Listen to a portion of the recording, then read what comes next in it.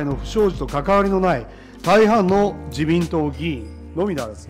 従前からの悪しき観光に安易に流されそして国民から厳しい指摘を受ける不祥事を起こしたこの議員の方についても同じ思いだと思います。ただ最も情けない思いをしているのは国民の皆様だと思います。そうした国民の皆様に自民党として、まあ、二度とこういう不祥事を起こさない信頼回復のために法改正をしなければならないと決意しているところであります。しかし他方で政治資金規正法は民主主義の根幹をなし憲法21条でも保障される政治活動の原資を支えるという役割があり改正法は与野党を通じていや全国5万8000ある政治団体すべてさらにはすべての国民にも適用されるものであります。政治資金規正法の本来の趣旨に照らし冷静に議論を進めたいと思います。議員の厳罰化これ連座制という声がありますけれども実は法律用語の定義上は連座制では全くありません実態は議員の処罰の厳罰化ですまあ、こういったことについて、もし時間があれば後で指摘いたしますけれども、では、議員を厳罰化するとして、どのように厳罰化するのかというのが、今回の政治資金規正法の課題であります。まあ、地元を回っておりますと、政治資金規正法に違反した議員はみんな辞めさせればよいというふうな声もよく聞かれます。ま、しかし、公職の候補者などを有権者の判断を待たずに公権力で排除する、まあ、これ、本当に極端な例はロシアや香港でも見られたやり方でございますけれども、これは民主主義と厳しい対立関係に立ちますその意味で政治資金規正法の趣旨と基本理念に照らして我々は改正をしなければならないと思いますこの民主主義の健全な発展のための国民の常在であるということこれは背後には憲法21条がございます。そして収支の状況を明らかにする。判断は国民に委ねるのだ。そしていやしくも政治資金の拠出に関する国民の自発的意思を抑制することがないようにする。法務省にお伺いしますが政治資金パーティーを一律に禁止している主な民主主義国はあるでしょうか。この記事の中で、えー、この1問目でありますけれども大串選対委員長は法律が通れば政治資金パーティーをやらないというスタンスを明確にしているということであります。で、えーまあ、のきちんとなった場合にはやらないとで、えー、いうことであります。でまあ、こういった大きな報道がなされましたけれども、私は大串選対委員長だけを責めるつもりはありません。まず一つは、他の立民の幹部の皆様もおやりになっているはずだからです。例えば、4月25日、ホテルニューオータニで、私の得ている情報では、安住国対委員長が会費2万円の朝食会をされたと聞いております。そして、来週月曜日、まさにこの審議の真っ只中、大阪で岡田幹事長が会費2万円の昼食会をされるというふうに聞いております。立民の幹部の方もやってるんです。大串さんだけじゃないんですね。でそれでは立民の提案者に伺います。大串選対本部長委員長は法律が通れば正式にパーティーをやらないというスタンスを明確にしているということですが法律が通らなければやり続けるというのが立民のスタンスでしょうか。であるいは法律が通っても施行日である令和8年1月まではパーティーを開き続けるということでしょうか。これは岡田克也議員の収支報告書をまとめたものであります。私は岡田克也議員幹事長は本当に尊敬しています。なぜなら岡田克也議員は平成13年以降ですね自らの収支報告書をまとめてそしてどういう収入を得たか何に使ったか全て明らかにしているんです。でここまで開示している立憲民主党議員はいません。で私は本当にこれは与野党を通じて政治資金とは何なのかを考える極めて大きな素材だと思っています。だからあえて、えー、このご紹介いたします。岡田幹事長はパーティー収入として、まあ、公表分これ平成13年以降あの令和5年までですが総額18億円を得ていますそしてそのうち、まあ、企業団体献金の禁止も申し出ておられますが法人寄付というのが大体4億円超ということであります。そして個人寄付があ、これが2億円ということであります。で、まあ、こうしたですね、現実を見ていただきたいのが、立民の政治改革実行本部長である幹事長ですら、少なくとも20年以上にわたり、政治資金パーティーを開き続けて、直近では5000万円以上、公表している23年間では多い時で1億円以上、総額18億円以上のパーティー収入を得ている。ちなみに岡田幹事長の政治資金パーティーの利益率は、令和5年に自らほあの報告した報告書によれば、92%に達します。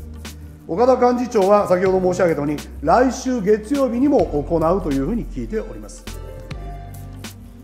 私はその立民の皆様が政治資金パーティーを禁止するということに趣旨をついて伺いました。賄賂性を伴うかもしれない、癒着あるかもしれない、これはおそらく立民内部でも調査されてるんだろうと思います。それでは立民の提案者に伺います。政治資金パーティーを全面的に禁止するということは、立憲民主党内部で調査した結果、岡田幹事長ほか、こうしたパーティーを開かれている多額の収益を上げている方について、売り先の癒着や賄賂性など、禁止すべき立法事実があったということでしょうか、お答えください。リクルート事件を引き合いに出す野党議員もおられますが、元特捜検事として指摘すると、これはまあ完全に法律をごっちゃにした間違いです。リクルート事件、ロッキード事件は、賄贈収賄罪なんですよ。これ、政治資金規正法の問題ですから、ごっちゃにはするのは、国民をミスリードするものだと思います。個人寄付については、立民の、いや、日本を代表する政治家である岡田克也幹事長ですら、個人寄付はたったの41の597万円であります。これは令和5年のものであります。で、実は誰が拠出したかということが確認できる令和4年の収支報告書を見たところ、個人寄付をしたのは46名です。そしてその個人寄付の総額の661万5000円のうち3分の2に当たる450万が大手スーパーの経営者であるご両親とそしてご兄弟からの年間限度額一般の150万円の寄付をもらっています。政治資金規正法をめぐる故意で一番私は法律家として故意の立証が難しい。それを如実に示したのが陸山会の無罪判決です。でこの陸山会の無罪判決、まあ、このこれはですね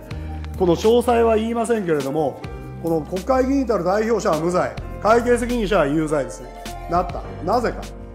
報告はしてるんです。でも報告をしたことを認めたんだけれども了承していたことも認定したんだけれども経理については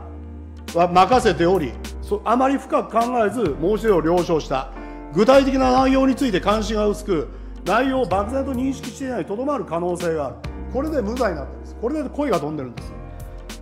立民の提案者に伺いますが立民の提案によってもこの故意の立証のハードルの難しさいわゆる陸山会の壁ですね。これは破れないんじゃないですか？山下隆君。以上。自由民主党の山下隆でございます。え、まず冒頭、国民の皆様に、我が党をめぐる政治と金に関する不祥事、これで大変なご批判を受けていること、私も自民党議員の一人として心からお詫び申し上げます。私は東京地検特捜部検事の経験があります。与野党問わず捜査の対象とし、公職選挙法違反で連座制を適用したこともあります。その経験からしても、今回のこと、我々の身の回りで起きたことは、本当に情けなく、じくじたる思いであります。もうこの国際情勢も本当に緊迫している、そういった中で、こういったことに莫大な時間を使わざるを得ない、これは本当に申し訳なく、情けない思いでございますし、これは今回の不祥事と関わりのない大半の自民党議員のみならず、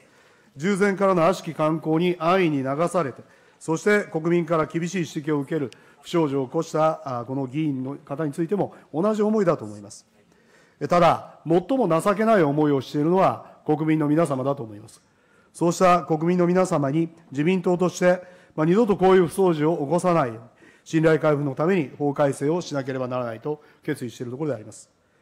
しかし他方で、政治資金規正法は民主主義の根幹をなし、憲法21条でも保障される政治活動の原資を支えるという役割があり、改正法は与野党を通じて、いや、全国5万8000ある政治団体すべて、さらにはすべての国民にも適用されるものであります。政治資金規正法の本来の趣旨に照らし、冷静に議論を進めたいと思います。それでは、まず最初にちょっと一つあの質問を飛ばしまして、えまあ、の今回の、まあ、これ、え、まあ、議員の厳罰化、これ、連座制という声がありますけれども、実は法律用語の定義上は、連座制では全くありません。実態は議員の処罰の厳罰化です。まあ、こういったことについて、もし時間があれば後で指摘いたしますけれども、では、議員を厳罰化するとして、どのように厳罰化するのかというのが、今回の政治資金規正法の課題であります。まあ、地元を回っておりますと、政治資金規正法に違反した議員はみんな辞めさせればよいというふうな声もよく聞かれます。まあ、しかし、公職の候補者などを有権者の判断を待たずに公権力で排除する。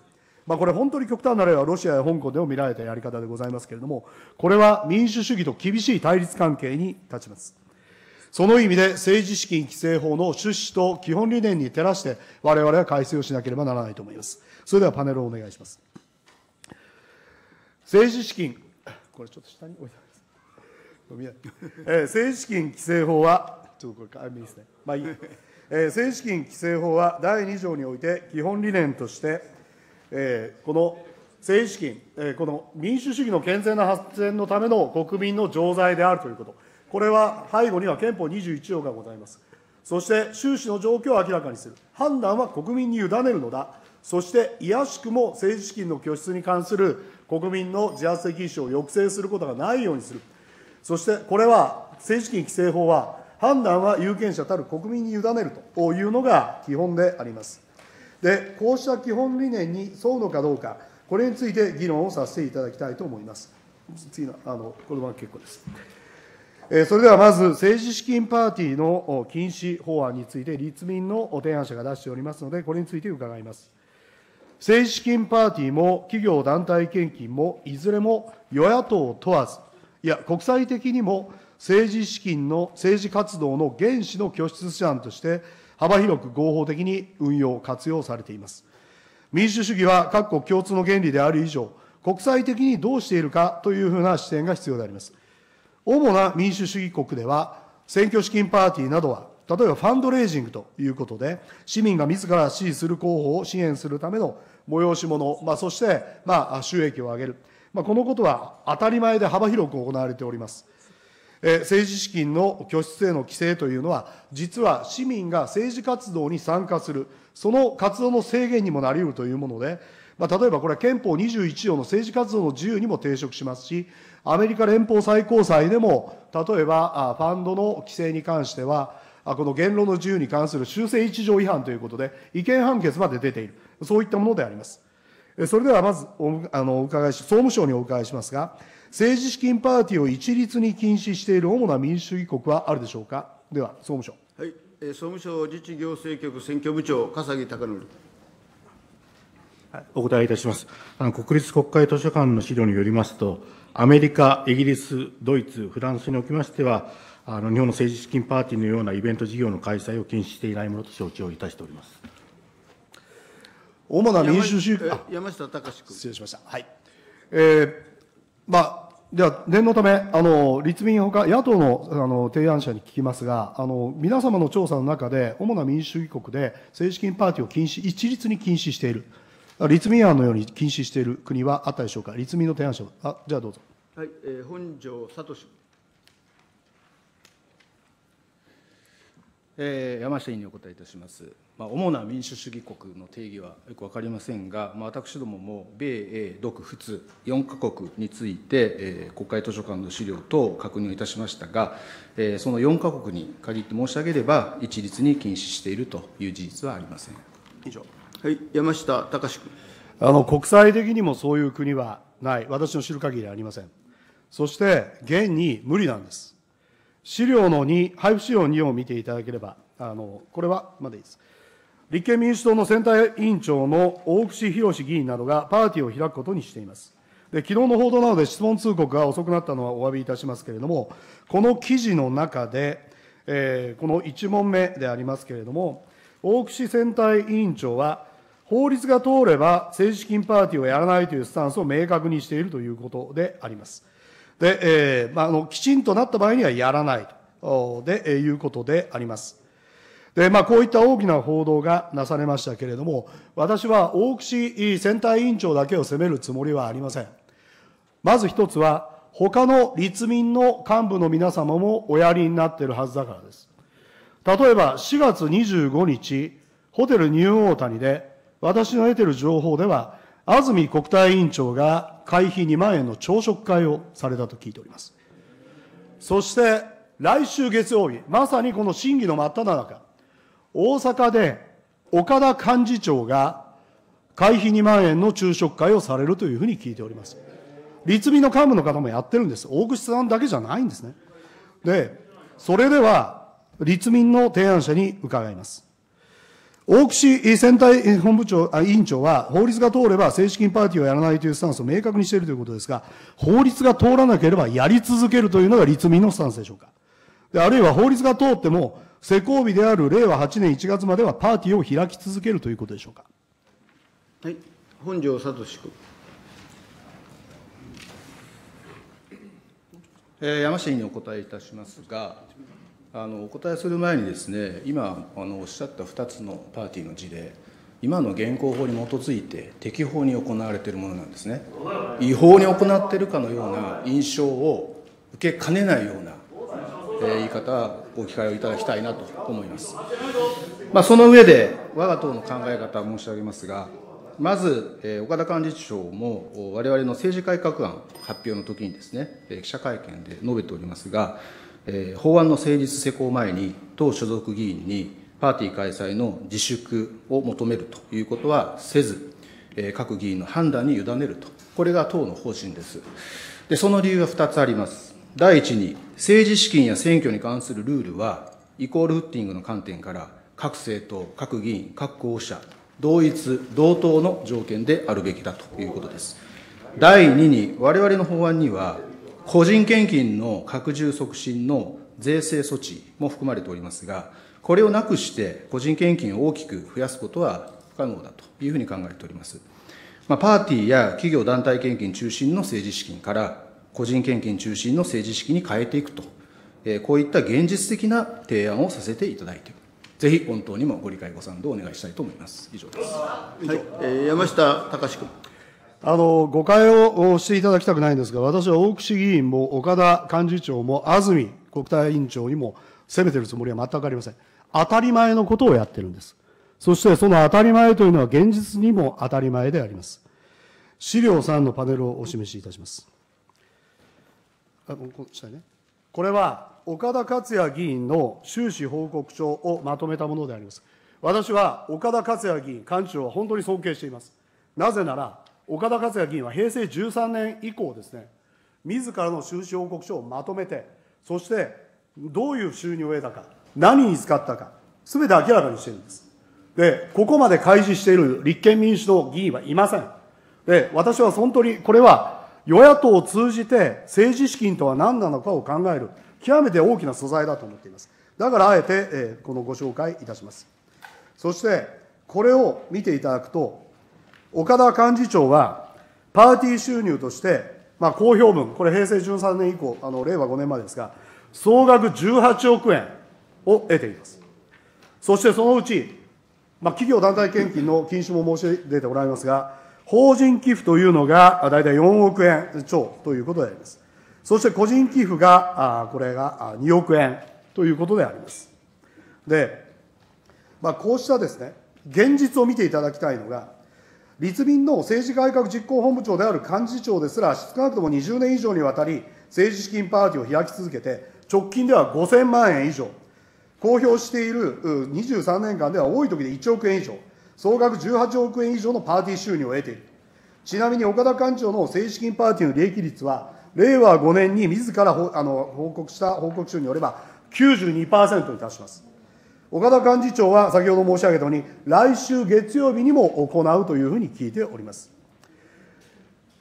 私はその立民の皆様が政治資金パーティーを禁止するということに趣旨をついて伺いました。賄賂性を伴うかもしれない。癒着あるかもしれない。これはおそらく立民内部でも調査されてるんだろうと思います。それでは立民の提案者に伺います。政治資金パーティーを全面的に禁止するということは、立憲民主党内部で調査した結果、岡田幹事長ほか、こうしたパーティーを開かれている、多額の収益を上げている方について、売り先の癒着や賄賂性など、禁止すべき立法事実があったということでしょうか、お答えください。はい、本庄聡君。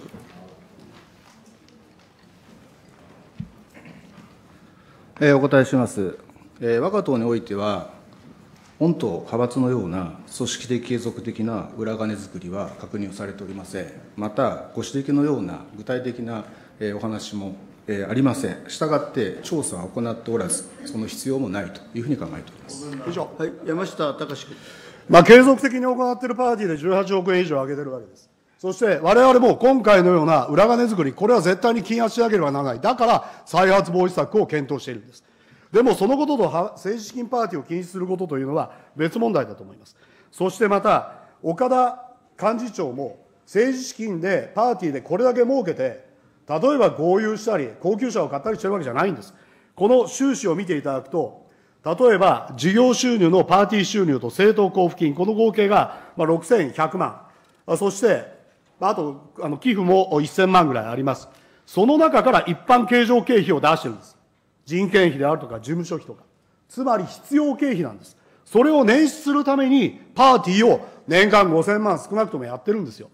で、これを禁止してしまうというのは、私は、これ政治活動に大い、大いな、あこれは制限を加えるものだと思います。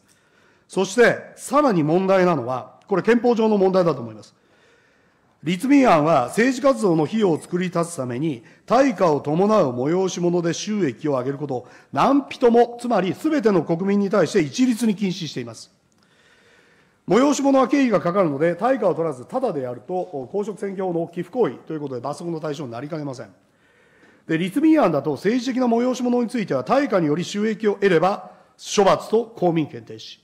対価をもらわなければ違法な行為として、処罰と公民権停止ということで、自らの政治的主張を伝えるためであっても、政治活動のための催し物を行う自由が、すべての国民に著しく制約されるわけです。開催対象は何人もです。開催禁止と1年以下の懲役などの罰則を全国5万8000ある政治団体すべてにかけるのみならず、すべての国民に適用するんでしょうか、立民の提案者に伺います。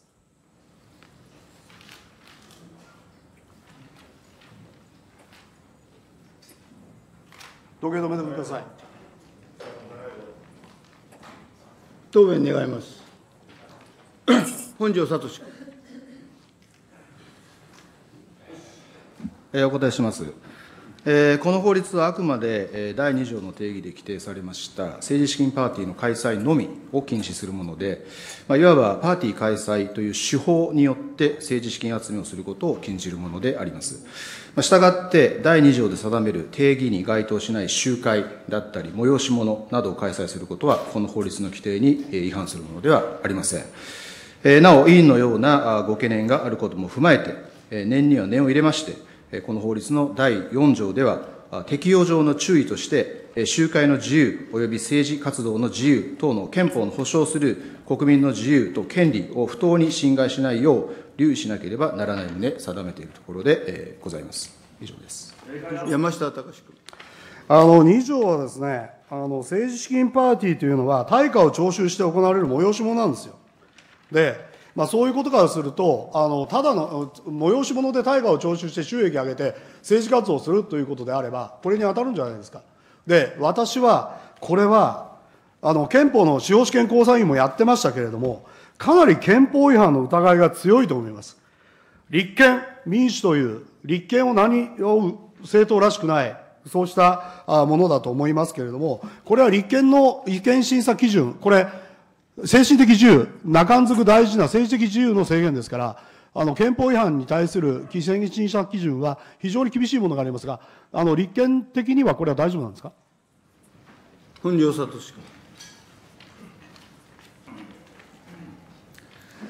はい、お答えします。あの、まあ、立憲民主党として、え提案しているもの、提出しているものでありますが、あもちろん法制局の審査もきちっと経たものであるという前提でお答えをいたしますが、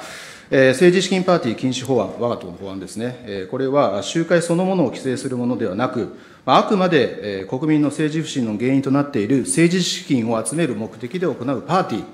パーティーに限定して禁止するものであるから、憲法に違反するものではないというふうに考えています。えーなお、企業団体献金の全面禁止については、団体に権利があると言っても、自然人である個人にある権利とはおのずから異なり、許される制約の度合いも異なる。十分に合理的な理由がある場合には、憲法上その制約も可能であるというふうに考えています。以上です。以上。山下隆君。えーあの、では今ね、あのご指摘があったように、でもあのパーティーと定義してるわけじゃないんですよ、これ、対価を伴う催しもって書いてありますからね、それで収益を政治的に活動に充てるものだから、あのおっしゃってるようなあの狭い限局した意味じゃないと思いますよ、これ、憲法学者に聞いてください。で、先ほど今、あこの企業団体献金の話がありました。で、この表でございますけれども、えこれはですね、あの国際基準なんです。これ民主主義は国際ルールですから、国際的にどうかということが極めて大事であります。で日本では八幡製鉄最高裁大法廷判決で、会社は公共の福祉に関しない限り、政治的行為の自由の一環として、憲法21条ですね、政党に対する政治資金の寄付の自由を有すると。で、えー会社は国や政党の特定の政策を支持、推進し、また反対するなどの政治的行為をなす自由を有すると。政治基金資金の寄付もまさにその自由の一環ということで、憲法に絡めて明確に認めてるんですね。で、この点、リクルート事件を引き合いに出す野党議員もおられますが、元特捜検事として指摘すると、これはまあ完全に法律をごっちゃにした間違いです。リクルート事件、ロッキード事件は、賄贈収賄罪なんですよ。これ政治資金規正法の問題ですから、ごっちゃにはするのは国民をミスリードするものだと思います。そして、この最高裁判決は確かに立法政策だと言っています。立法政策だから何でも立法していいわけではなく、具体的な立法事実が必要であります。立法事実としては、先ほど紹介した最高裁判決に沿って、平成6年11年の政治改革における見直しにより、政党等に対する寄付のみとし、与野党問わず、我が国の政治活動の原資として確立しています。先ほどの岡田幹事長、パネルをお願いします。先ほどの例で言えば、岡田幹事長も、企業団体からの寄付は、令和5年で81社から700万円以上、多い時で年間2500万円以上、約23年間で総額 4, 年4億円を得ております。で、岡田幹事長が企業からの寄付についてご懸念になるような癒着があったか、あるいは、例えば関係者、家族の関係するところから得ていたかなどは多分調査をされてるんだろうと思います。でもおそらくそういうことはないんだろうと思います。で、まあ、こうしたことで、現実に岡田幹事長、政治改革本部長も、企業団体献金にある程度自分の自らの生活、政治活動をやるのを頼っているということであります。そして、個人寄付についておっしゃいました。この個人寄付については、立民の、いや、日本を代表する政治家である岡田克也幹事長ですら、個人寄付はたったの41の4 597万円であります。これは、令和5年のものであります。で、実は誰が拠出したかということが確認できる令和4年の収支報告書を見たところ、個人寄付をしたのは46名です。そして、その個人寄付の総額の661万5千円のうち、3分の2に当たる450万が、大手スーパーの経営者であるご両親と、そしてご兄弟からの年間限度額いっぱいの150万円の寄付をもらっています。で、私が確認できる限りでは毎年いただいておられました。この20年間の間、もらってたかどうか、それは岡田幹事長自らが明らかにされることです。えしかし、この個人献金の相当部分を家族であるとか、お金持ちの知人が賄わなければならないというのが、日本を代表する、いや、立民を代表する岡田幹事長の現実なんです。で、こうした、例えば岡田幹事長が受け取った企業段階転記に禁止すべき何か立法事実があったんでしょうか、立民の提案者に伺います。はい。えー落合孝之君。はい。えーまあ、今のですね、えー立憲民主党の議員が受け取った企業団体献金に不正や問題があったという具体的なあ指摘はありません。したがって、あの調査はしていません。で、まあ、しかし、企業団体献金、これ、やる、続けるべきかということは、もう国会ではかなり議論がずっとされてきたわけでございます。で、あの、個人献金、あの、一部の人に偏るものも問題なんじゃないかということですが、私、例えば私はですね、あの、政治資金集めパーティーを今までやってません。個人のことはあはいあの岡田幹事長そそあのまあ、岡田幹事長も一つの例ですが、他にもいろいろそれぞれいるわけです。で、やってない人もいる。それから企業献金も私も含めてもらってない人たちもいます。あの、しかしですね、あの、家族からあの、高額にもらっているということもありません。あの、少額で多くの人たちから、あカンパをいただいて政治活動をしていく、それを目指していくというのが、我々のこの立法の目的でございます。山下隆君。では、岡田政治改革実行本部長は、その道とは違う道を歩んでおられるということですね。では、あの次にですね、あのまあ、これ、立法事実がないということなんですよ、それは。調査もしてない。で、これ、国民の憲法上の権利ですからね。で、最高裁判決を認められることをどうするんだということです。で、次にパーティーの公表基準について伺います。まあ、パーティーの寄付の公表基準については、政治的支援を含む自らの政治活動を公にせずに行う自由なんも、これも憲法21条が保障する重要な権利であることを考える必要があります。プライバシー権の問題あります。これ、こう例えば表現の自由についてもですね、まあ、ツイッターで匿名投稿があります。これは権利侵害がない限りは発信者情報は開示されないんです。同じように政治的立場を、例えば公務員とか立場のある方もおられます。まあ、そういった方が自らの立場、あるいは使命を開示せずに、あの公表するという、公表されずに政治活動としての支援を行うという自由もあるわけであります。私は先ほど岡田幹事長のご両親とご兄弟のことを言うことについてですね、気が止めなかったわけじゃないんですよ。ただこれはすでに公開情報です。そして岡田幹事長も出してるんです。だから公開しました。しかし、この公表基準を下げるということは、反面ですね、今まで公表されずに支援できてきた方々が、これが公表されるのか、あるいは支援をやめるのかという二者択一を迫ることになります。で、これは、この政治資金規正法2条に定める基本理念である、いやしくも政治資金の拠出に関する国民の自発的意思を批判、抑制するなということに反するのではないかと思います。自民党提案者に伺います。パーティー収入を10万円超ということにした理由をお尋ねします。はい、藤井久之君。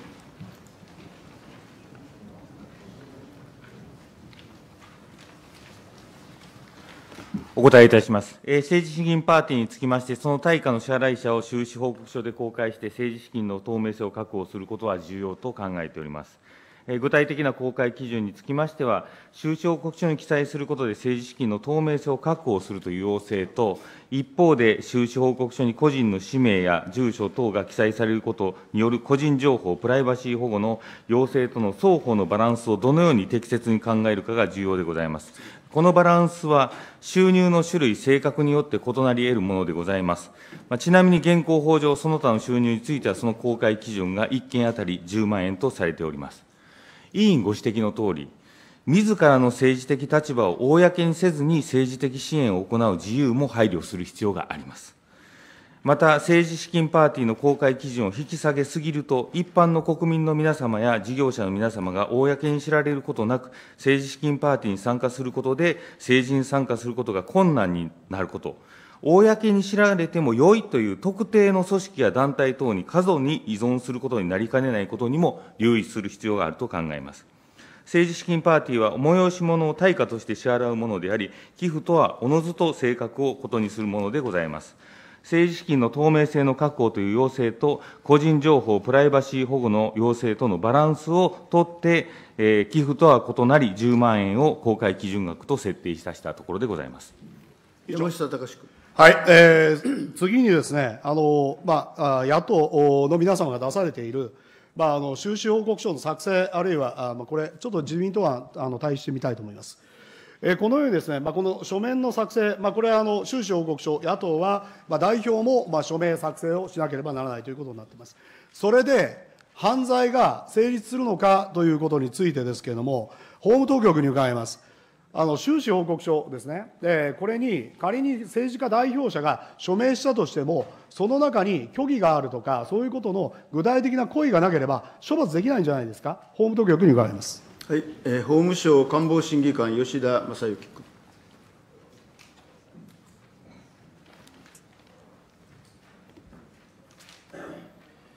えー、犯罪の成否は捜査機関により収集された証拠に基づいて個別に判断されるべき事柄でございますので、お答えは差し控えさせていただきたいと思いますが、一般論として申し上げますと、政治資金規正法25条1項3号の虚偽記入罪は、政治資金規正法12条1項、もしくは17条1項に規定する報告書である、いわゆる政治資金収支報告書、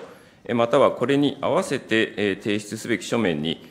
故意に虚偽の記入をしたと認められる場合に成立し得るものと承知しております。山下隆君。あの野党がおっしゃるように、署名をさせて、あるいは作成させても、具体的な記載事項について故意がなければ、これは犯罪は成立しないんです。えー次のページ、お願いいたします。